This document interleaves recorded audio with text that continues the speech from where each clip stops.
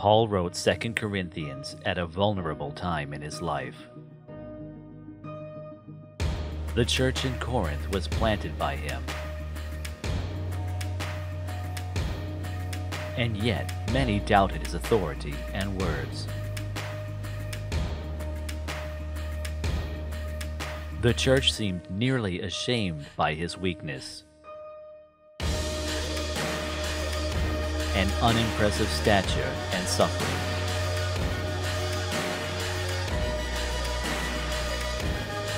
But Paul argues his weakness and suffering are the very means God uses to reveal his glory.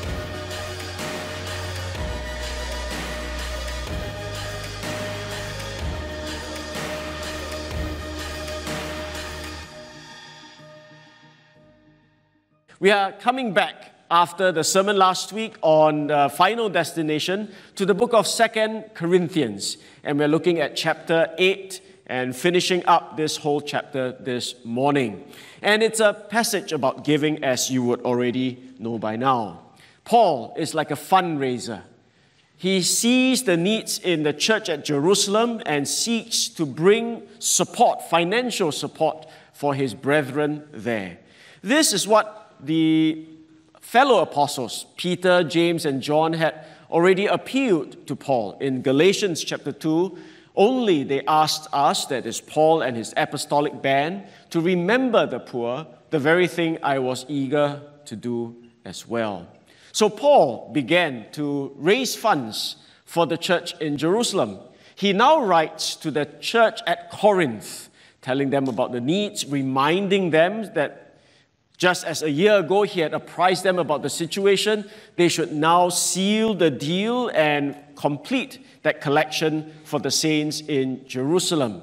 And you remember two weeks ago, Paul was encouraging the Corinthians via the church at Macedonia, the churches in Thessalonica and Philippi and Berea. So Paul kind of raised the Macedonians like that red octopus I spoke about that example, how they gave in extreme poverty and yet overflowed in generosity, and it was marked by great humility. So, this morning, we're going to see how Paul begins to answer potentially questions that they may have. He says in verses 10 to 11, please get this done, all right? And in this matter, I give my judgment. This benefits you who a year ago started not only to do this work, but also to desire to do it. You guys got the ball rolling about a year ago, but I don't think it is quite complete as yet. So please get this done, he's saying in effect. So now finish doing it as well, so that your readiness in desiring it may be matched by your completing it out of what you have. Now, he has therefore encouraged them via the example of the Macedonians and supremely experience or explain to them how they have personally tasted the grace of God in Jesus Christ. So he says, exercise this uh, privilege, this benefit that you have to give to the poor right now.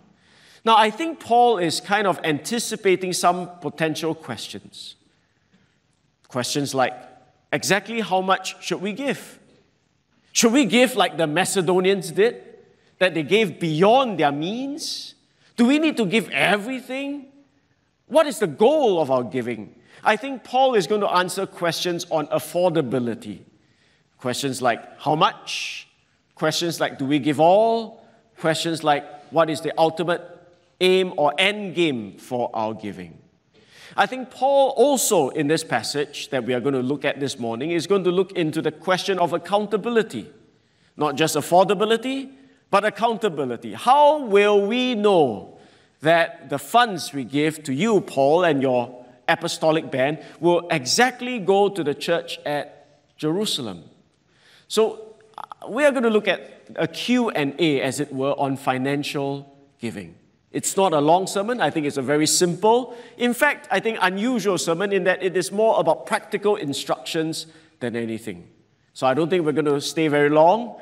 Uh, maybe good news for those who are hungry, but uh, let's see how long we'll take. All right, Q&A on financial giving. The first question is really taken from the verses in 12 to 15 as to the issue of affordability. How much should we give? Probably, Paul having explained or used the example of the Macedonians, uh, they anticipate the Corinthians being afraid. Wow, you mean we have to give beyond our means?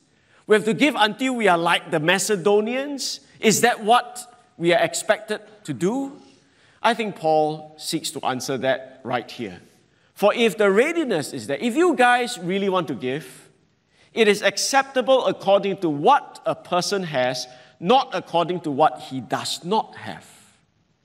So the principle he lays down is giving is not trying to compete or to match another person or another church's giving. Yes, the Macedonians gave amazingly out of extremity, they gave with an overflow of generosity.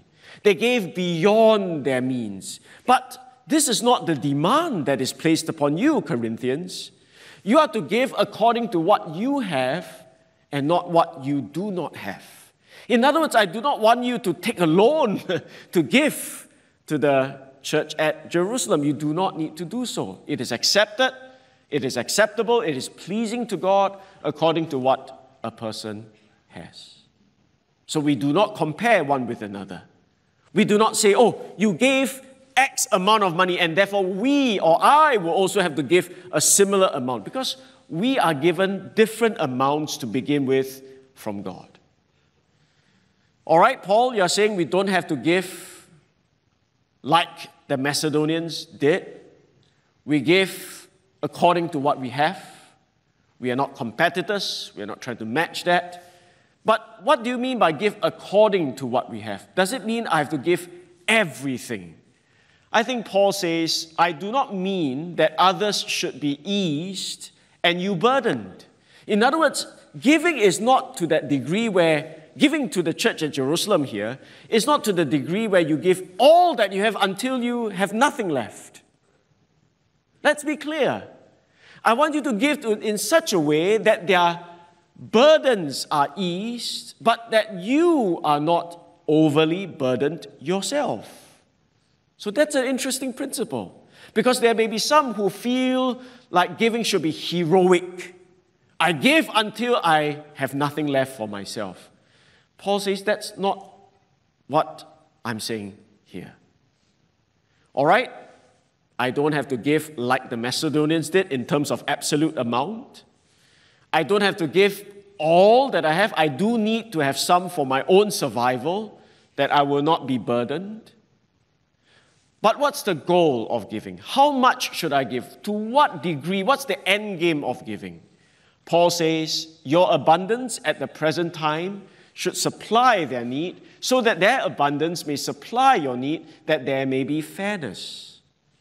So it seems here the fairness is not with regards to absolute net worth or the amount you have or the economic level that you have, but the fairness here is about meeting needs. So nobody, I think, throughout Christianity has this thinking that giving has to be to the degree every single one of us have the same amount of money in our bank account.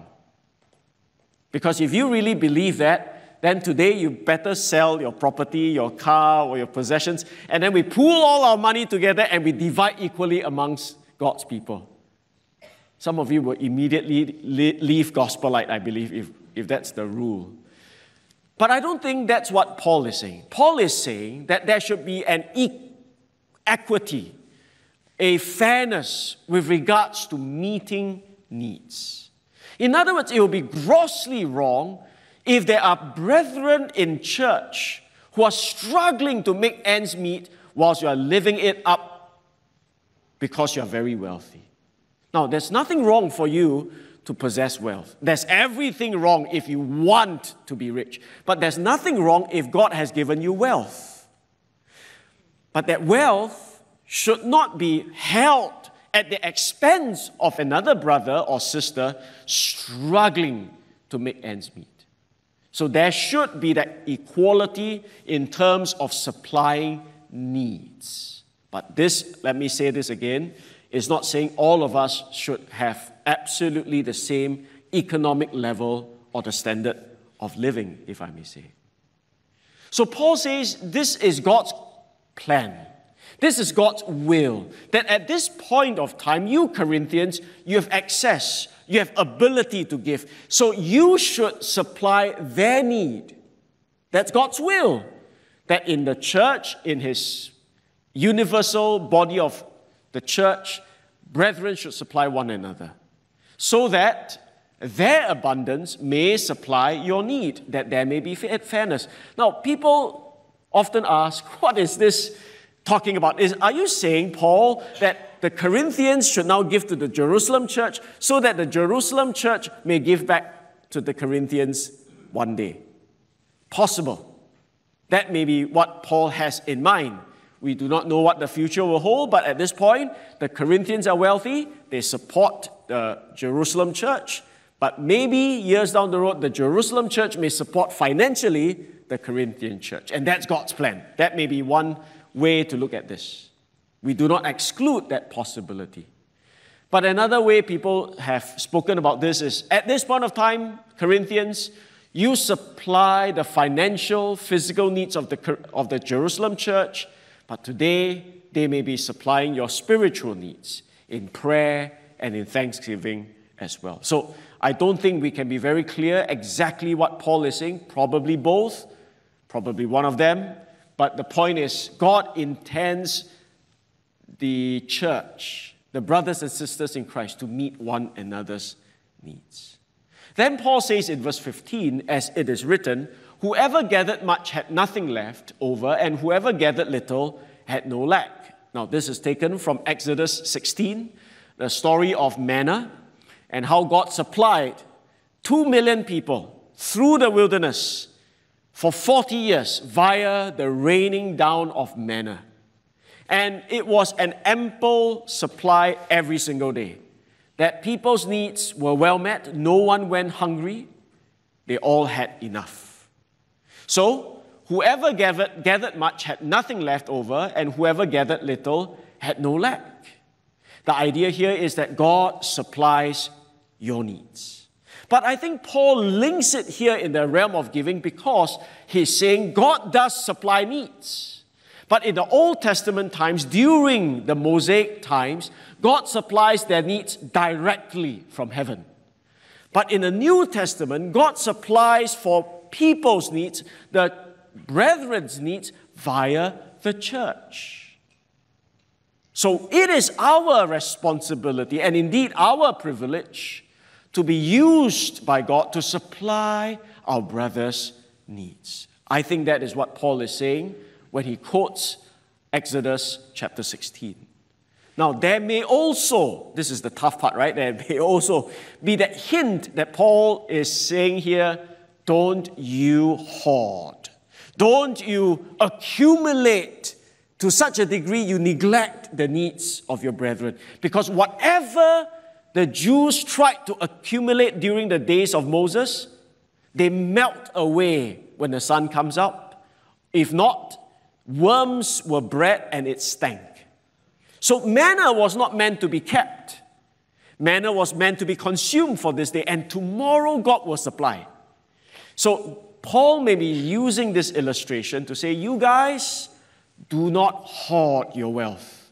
Now that there is a clear need in Jerusalem, God's will is to use you to supply their needs. Whatever you try to hoard for yourself will melt away, or they will grow worms and stink.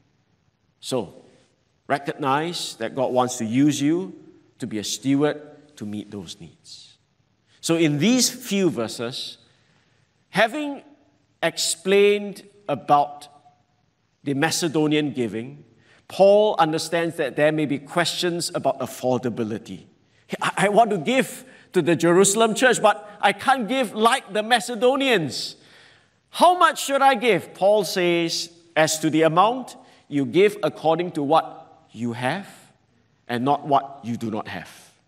It's quite okay not to compare with the Macedonians. It's quite okay for you not to take any loans. Give what you have. All right, if I were to give what I have, Paul, does it mean I have to give everything? Do I have to give all that I have? Paul says, No, I'm not asking you to give to such a degree that they are eased and you are burdened. But there should be an equality, there should be a fairness that you will supply their needs. And the aim of giving is not that we will all have the same amount of money in our bank, but that we all will have needs met. Because that's how God, in the New Testament economy, meets the needs of his people through the church. And if you are trying to hoard for yourself and are tight fisted, even though your brother is struggling financially, well, whatever you have is not going to last anyway. It's going to melt away and it will stink and it will rot someday. So I think with these few verses, Paul addressed the question on affordability. The next question is something that we don't usually talk about in church, but it's in scripture and it's important. And it's the issue of accountability. Uh, this is important, right? How do you know, Corinthians, that the money you give will go right to the recipients and nothing is siphoned off to our own pockets? How would you know that none of these funds will be used for our own selfish purposes or it may be embezzled. As I've said, there are lots of scams in the world today, and I, I've, you know, this is one of the Facebook pictures I saw. I, I told you about the, the scam I almost got into. I said, wow, so nice. How much? Huh? Actually, very cheap. Lah. Not, not very cheap, but for Wagyu beef, it's cheap. Lah. Uh, $100 per kilo. Oh, that's, a, that's not, a bad deal for Japanese Wagyu. I almost ordered it until I smelled something fishy. They also sell fish, so uh, s- s- smelled something fishy and, and uh, messaged. And as you know the story, I, I did not go through with it. And within a day, that Facebook page is taken down. And, and then, actually, over time, after I've given that example, I noticed the same web pages or Facebook ads being sponsored and floating up on my Facebook feeds. And, uh, well, it was confirmed that this was all a scam because it was e- even reported in mainstream news that victims were scammed of $20,000 trying to buy durian wagyu beef from online platforms. Their modus operandi very simple: get to you via your Facebook, via your WhatsApp. Uh, once you send money to them via PayNow, they block you from their messages, and after one day or two, the web page is also taken down. And they repeat that cycle using different guises, different names, different company names, and so on. So be careful, all right? But because we live in a day where we are surrounded by scams, people call you, hi, I'm from ICA, people email you, you have a package waiting for you, you need to give me your details, we are very cautious. And Perhaps rightly so. But scams and frauds and embezzlements can also take place in a supposedly safe environment like the church, like religious organizations. Recently, this is really sad because this was reported in the Straits Times. This is not in Christian websites or articles or magazines. This is on Straits Times that the Hillsong Church is under probe after claims of misuse of church funds. I do not want to speak too much about Hillsong or Brian Houston, but it is just an example to say scams or misuse of funds can be true or even alleged in the church, in religious organizations. In Singapore, we are familiar with this man. Uh, years ago, you remember his name? You don't remember? It's okay. All right. Uh, well, this man, uh, okay, his name is there actually.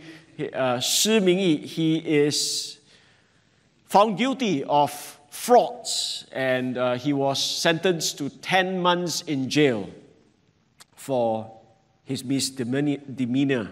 Not just himself, but a Catholic priest was sentenced to seven years in prison for embezzling about $3 million of church funds. That's a lot of money in those days, 2004.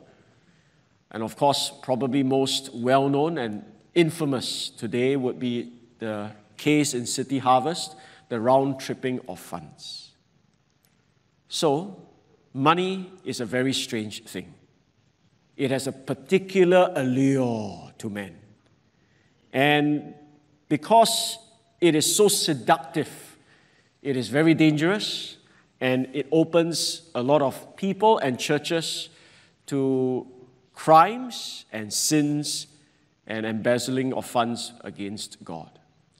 So, in the light of that, Paul talks about this accountability in verses 16 to 24. It's a long verse, but a long passage, but I, I don't think I'm going to run through it verse by verse. It may not be necessary that way, but I go straight to the heart of the matter.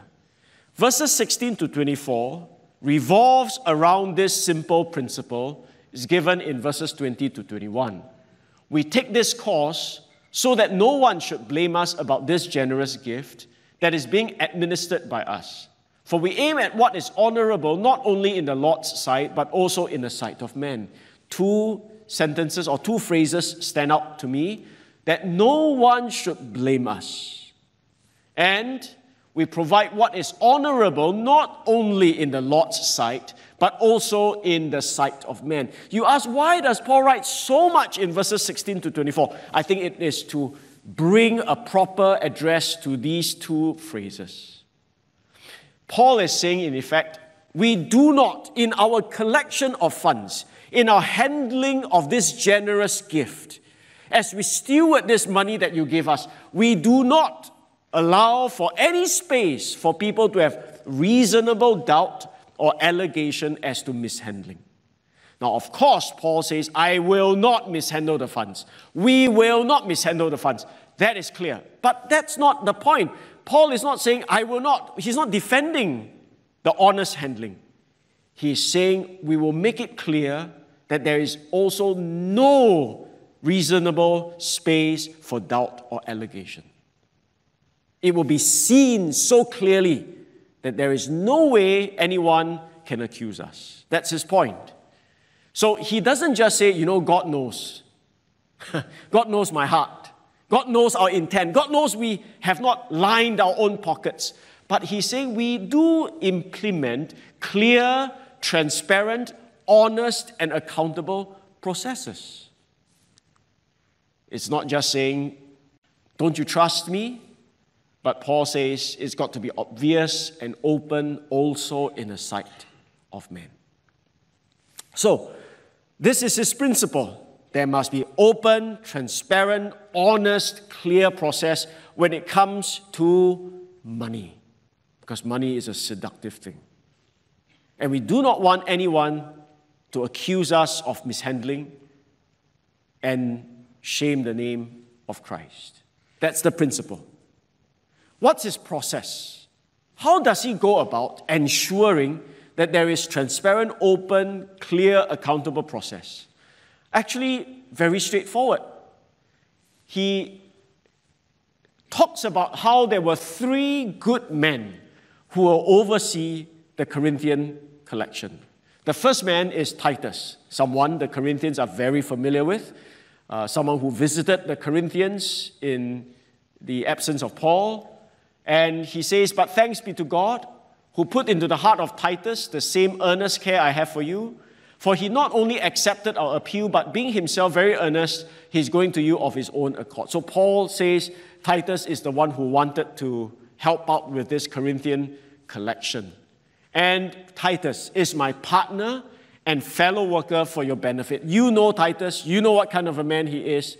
He is the first of the three who will be responsible to oversee the Corinthian collection.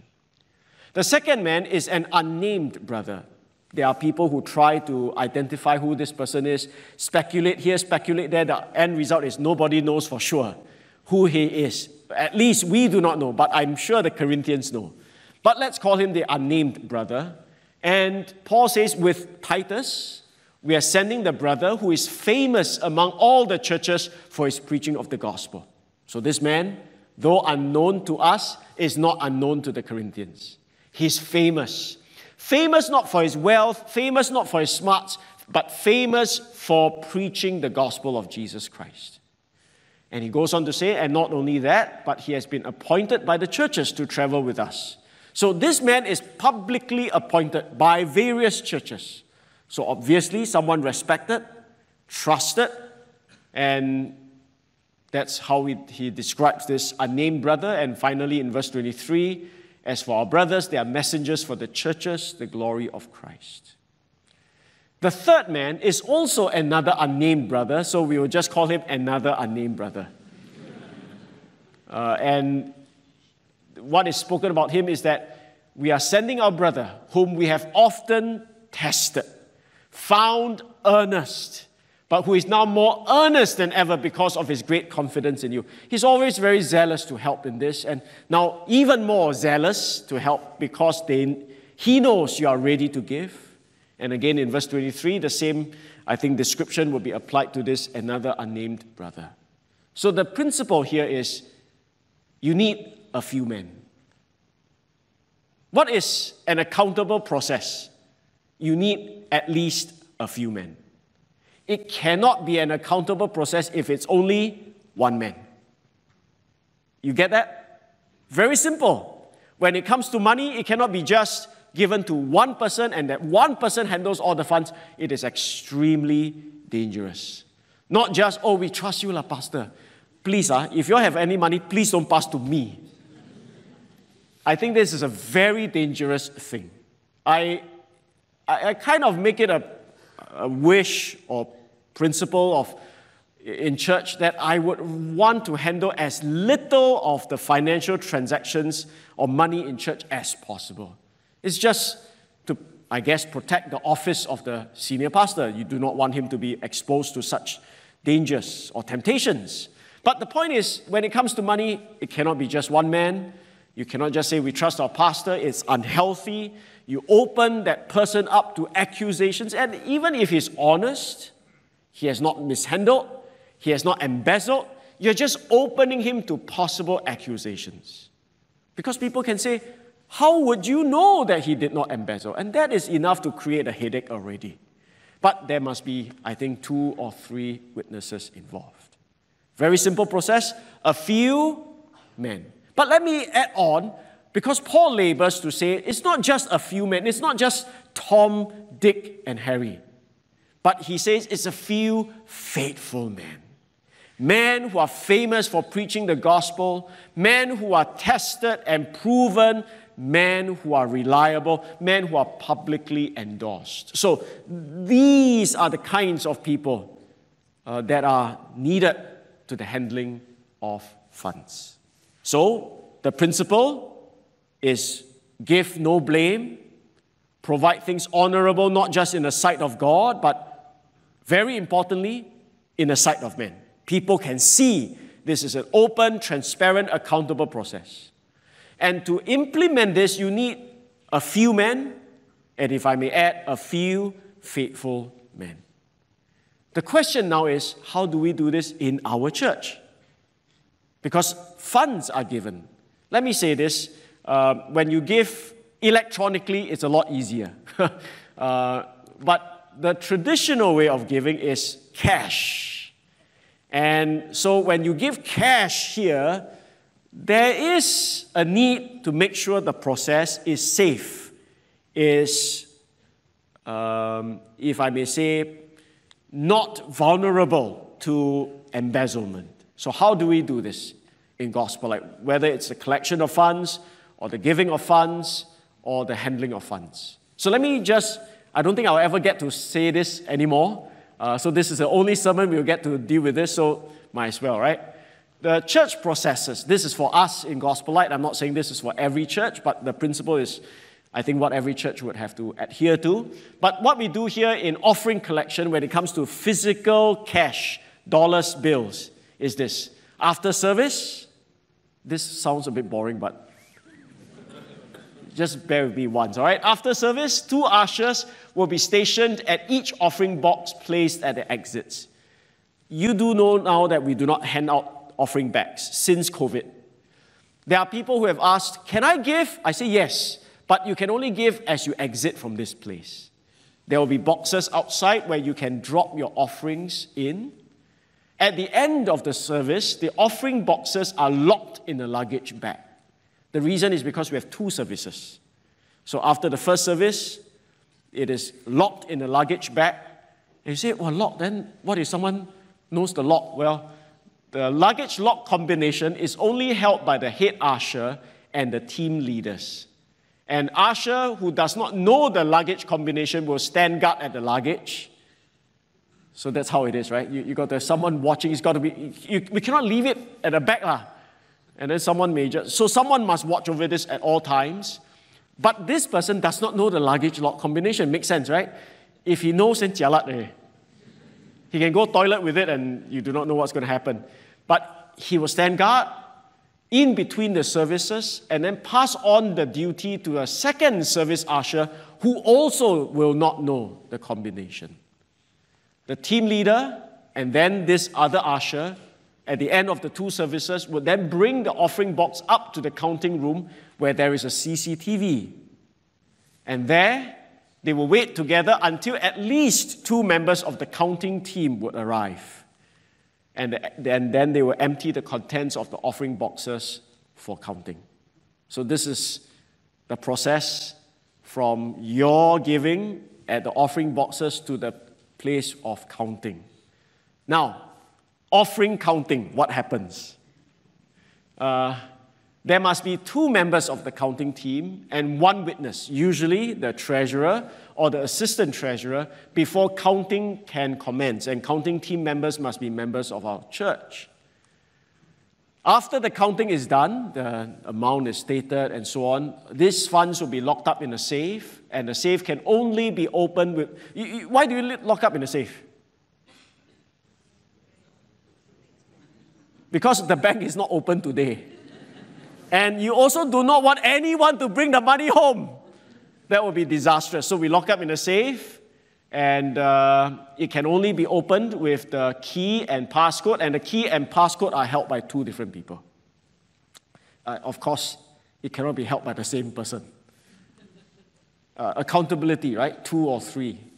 And then we'll deposit at the bank, and offerings to be brought to the bank for deposit by two unrelated staff. Again, we need that counter check and balance. Now, that's about the collection of funds. You, you notice if you give online, uh, all these things are bypassed, right? Because it's straight to the bank account. But because uh, there are still people who prefer to give physical, cold hard cash, that's fine as well. This is already in operation since the church began a long time back. Of course, we have fine tuned the SOP, but that's what it is in a nutshell. When it comes to the release of funds, this is a simplified version. There will be a requesting person, so a claimant would raise a claim. But just because a claimant raises a claim doesn't mean the money goes straight to him. There must be, number one, a counter-signing person. Uh, that is a staff uh, in the same or relevant department who is in the same or higher position as the requester, or if unable, the, then the staff from another department who will fulfill the already mentioned condition. So it must be counter checked that this is a genuine claim. And then, number three, there must be an approving person, uh, same or relevant head of department, or if unable, then another head of department. So there must be that verification that this is a legitimate claim before the money can be released. Besides that, in our church, we have finance subcom. Uh, they are people who will provide advice on the finance matters, and oversee the church finance policy and SOP. Now, your pastor is horrible with these things, and I gladly acknowledge my inadequacy in this area. But there are brethren in this church who will focus on looking at fiscal accountabilities. Finance Com is a group of brethren who will look into this. We also have internal auditors who will look through our books. Besides internal auditors, we employ an external auditor, someone who is not from the church, to also look at the transparency and accountability with regards to finances here. And of course, there's also the Commission of Charities, this is from the government, to provide spot checks. Every year, we give an update of our fiscal positions uh, in our ACM. By the way, ACM is coming up next Saturday morning. All right, so this is, of course, for members only, but we provide a status updates, and this is the way we also want to keep ourselves accountable. So, that's what accountability, I think, can look like. I don't think we have the perfect system. Uh, our finance com will look into how we can better ourselves each time, uh, but that's what Paul is saying. There must be a principle. The principle is no space for reasonable doubt or allegations. The process is usually a few faithful men or women. And the profit, what's the benefit of addressing this issue? It is this Paul, having settled or dealt with their questions, then confidently, I think, appeals to them. So, in the light of the clarity on affordability and accountability, guys, give proof before the churches of your love and of our boasting about you to these men. I hope, Paul says, I've answered your questions. I've helped you see the example of the Macedonians. I've reminded you of the grace of God in Jesus Christ. I hope you will be willing to give. And I've also, in this passage, supplied you with the wisdom to give. Wisdom as to how much, wisdom as to know that these are in safe hands, not just in the sight of God, but in the sight of men. So give proof of your love and supply the needs of the brothers there. If you're here with us for the first time and you're saying, well, this church is very money minded, uh, or every day talk about money, I say not every day, or only these few weeks because we're going through 2 Corinthians 8 and 9. But I want to say to you, whilst giving financially is not the main message of Gospel Light, the gift of God, Jesus Christ, is the main message of Gospel Light. If you're here with us and you do not know the Lord Jesus Christ as your own personal Lord and Savior, I want to ask you to receive this gift from God. Because we are all sinners who are guilty before God, who are sinful before God, but this generous, amazing God has chosen, while we are yet sinners, while we are absolutely unworthy, to send His Son to die and to pay for your sins. I pray today you will turn, repent, and believe in Jesus Christ that you may be saved. Let's bow for a word of prayer together.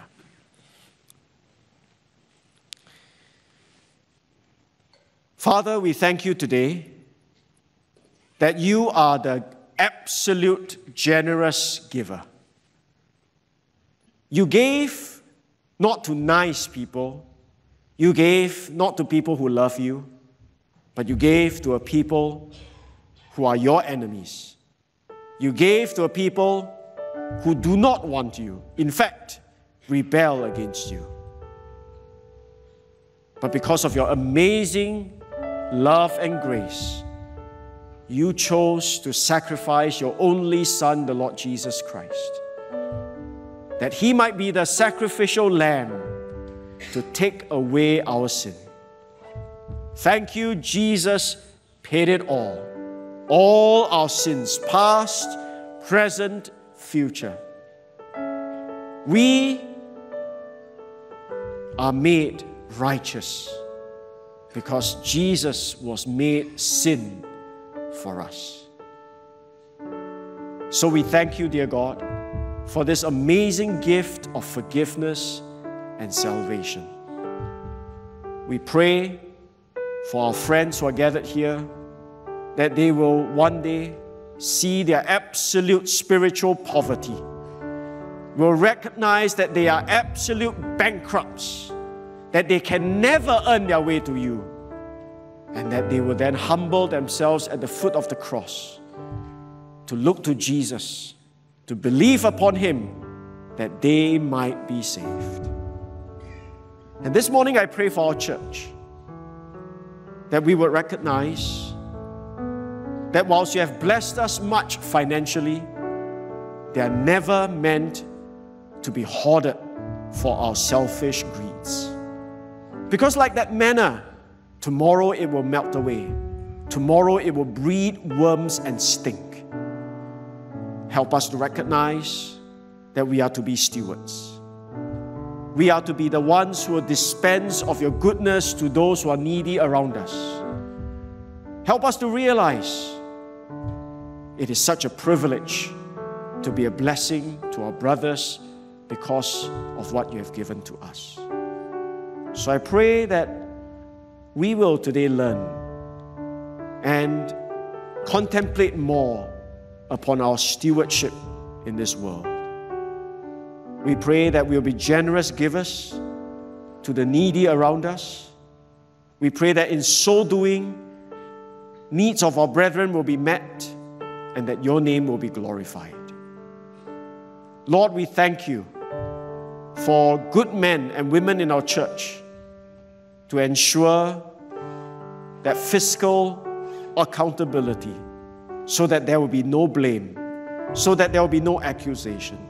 And I pray, dear God, you will preserve this church from frauds and embezzlements and shameful things that will hurt the name of Christ. We pray that we would have the ability to be blameless and beyond reproach in every way so that we may have our attention focused on the gospel of Jesus Christ. So, once again, thank you for this morning. We pray your word will find good soil in all our hearts. We pray all this in Jesus' name.